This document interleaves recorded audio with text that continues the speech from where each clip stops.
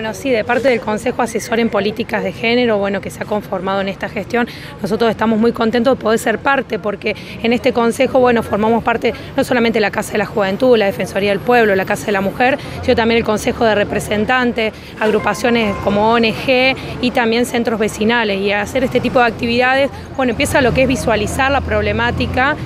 y también poder generar acciones que, donde la sociedad se sienta parte eh, de, bueno, de también lo que va a ser la prevención. Entonces este Banco Rojo tiene un significado muy importante porque bueno, es para aquellas personas que fueron víctimas de violencia de género, entonces estamos muy contentos de poder, de poder eh, hacer esta actividad como tantas otras actividades que se están haciendo desde parte del Consejo. ¿El Banco Rojo va a quedar instalado de manera fija aquí en la Secretaría de Turismo? Sí, de manera fija el Banco Rojo simboliza todos los femicidios que están ocurriendo en el mundo, en nuestro país, y simboliza también la necesidad de justicia, la necesidad de conciencia, la necesidad de reflexión y la necesidad de compromiso de toda la sociedad y por supuesto de aquellas personas que tienen la responsabilidad y el destino de,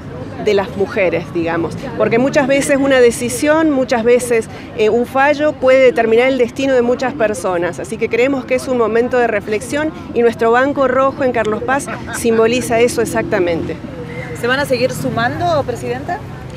Van a seguir sumando todas las acciones que tengan que ver con la prevención y con la visibilización de una problemática que fue naturalizada durante muchos años. Se han colocado en el país alrededor de 200 bancos rojos fijos como este y emblemáticamente en un día como hoy, ¿no? Esto estaba pensado para el 25, para el Día Internacional de la Lucha contra la Violencia hacia la Mujer, ponerlo el lunes, bueno, por la lluvia se fue postergando, justo cuando sale el fallo eh, de Lucía Pérez que deja tres femicidios sueltos, así que me parece que es muy emblemático que hoy esté el banco acá, que podamos visibilizarlo, que esté enfrente de turismo, donde son no solo los transeúntes locales, sino también toda la gente que nos visita pueden observarlo y que eso nos haga reflexionar sobre la, la violencia que vivimos las mujeres todos los días y sobre esta justicia patriarcal.